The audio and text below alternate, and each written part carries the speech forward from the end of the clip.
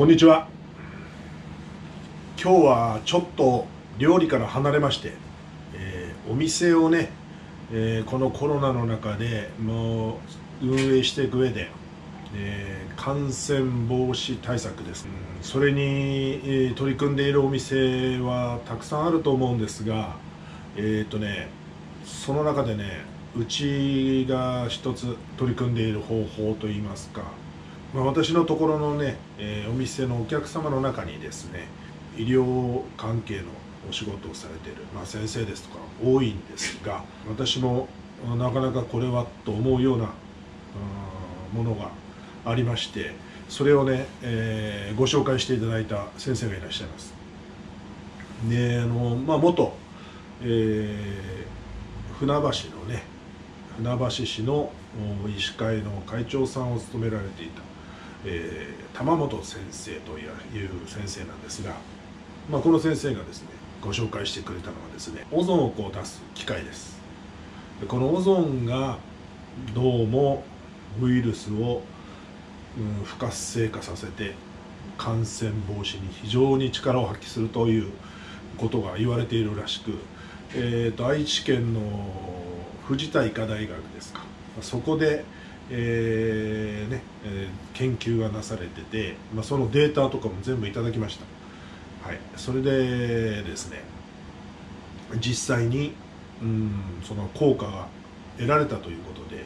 えーまあ、オゾンをこう出す機械をですね開発していらっしゃる、えところがあります。そしてそれをですねうちにもあの今現在は携帯用の小さいのしかないんですが、まあ、それをなんだろう出歩く時にもね持ち歩き、えーなおかつ車の運転する時も車の中に簡単に、えー置けるものあのジューススタンドっていうんですかジュースホルダーっていうんですかねあそこにポンと入るね、えー非常に便利なものがありましてでこれを使って、えーまあ、感染防止対策を取っているというところです。で実際のところ私のお店でコロナが出たわけではないのであのじゃあ果たしてそれが本当に効いてるのかというところでね疑問を持たれる方もいると思うんですがあの実は、えーこの玉本先生はですね、えーご自身でクリニックを開業されていてなおかつ、えー、と介護施設をですね、え複数件運営されています。その介護施設に全てこのオゾンの機械は全部病院にも全部設置してそしてですよなんとですね介護施設の一つあの一軒の中の職員が実は感染していてで2日間介護にあたって仕事をしていたと。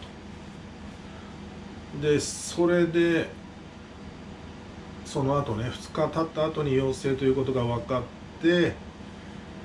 えー職員全部約50名 PCR 検査をしたところ全員陰性だったという結果が出たんです。これすごくないでしょうかね。本人だけ。で先生曰くあのまあ自信はあったと。そういうまあ一つのエビデンスになるでしょうね、えー大きな介護施設普通でしたらもう大大体クラスターが起きている状況だったと思うんですよね。でそれでも、まあ、先生のところは、うん本人だけ他には一切感染せず、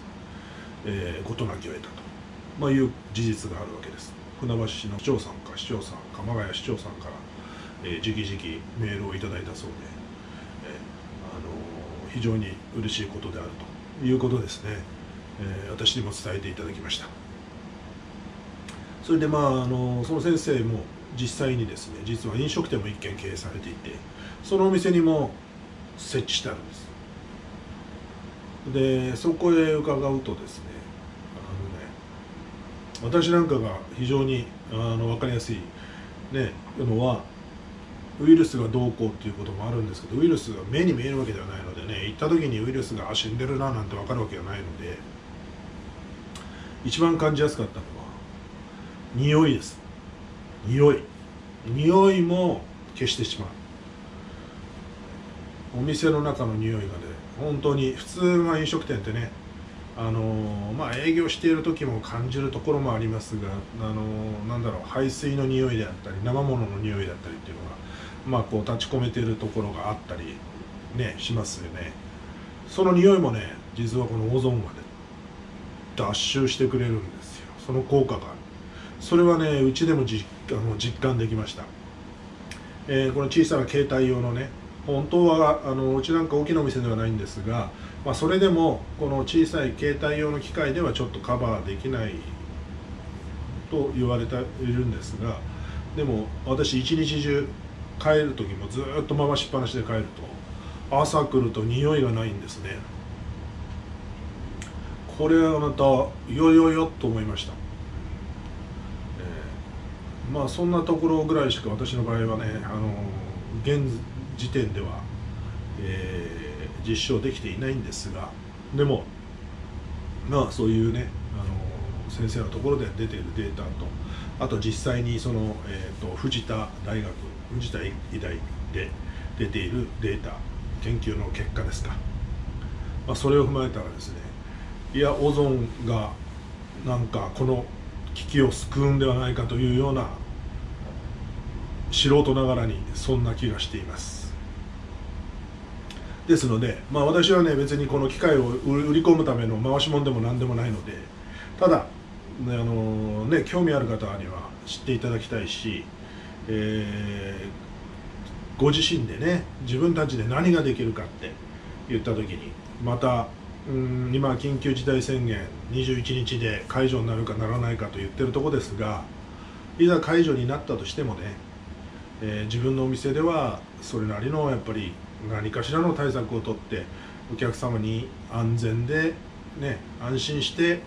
食事をしていただきたいと思えば、あのー、私はね、あのー、今回一つ大きい、えー、オゾンの機械を導入する決意をしました、それによってね皆さんをというか、まあ、うちのお店の中だけですけれど、えー、コロナから守れるんであればね、まあ、そんなことをするのはお店側としてはねできるだけのことはしなきゃいけないなと思います、ね、ですので、えー、ぜひね、えー、ぜひというか今回、え、いろんな意味でですねあの、まあ、国の方からも保証もいただいてますしねそれを少しでもお客さんの方に、えー、還元する形としてね、えー、この機械の導入を決めました。でちょっとですねその機械をご紹介いたしましょう。はいこれがですね、えー、実際の携帯用のねオゾンを出す機械です、えー、小さいですよ。もうこう見るとどうですか？この、まあ、ペットボトル。ペットボトルぐらいですね。500cc のペットボトルぐらい。はい。でこれがまあ、どのように使うかというとですね、まあ、通常携帯するんでしたら、まあ、このようなね、えー、携帯用のバッテリーあの充電器これをスイッチ入れます。そうしますとこれねまたまたすごいのはねあのこの機械自体の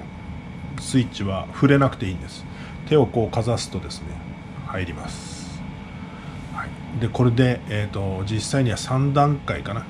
ここから上からねオゾンがこう出てるんです。そしてもう一つポッと手をかざすと強くなります。はい。で音はねほんと静かでこでどうだろう。音を拾えてるかどうか分かりませんがまあ本当にあの全然気になる音ではありません。そしてねこの上に数字が出てますね。左側が温度です。今24度、まあ、室内ですけどね。24度。で右側が湿度。湿度ですね。上のねこの O3 って書いてある。ここが、まあ、オゾンが発生してますよという表示です、この上の青い青いのは、まあ、あの温度ですよと。こっちが湿度ですよという印マークですね。でこの青い4つの点々はあの風風風量っていうのかな、まあ、こうしてやると今消えましたね。消えました。もう一回かざしますと2つ弱めのが出ます。でもう一度かざすとあれ？もう一度かざすとはい4つ。そして強くなると。まあこの簡単な操作方法です。これでオゾンがずっと出てるということですね。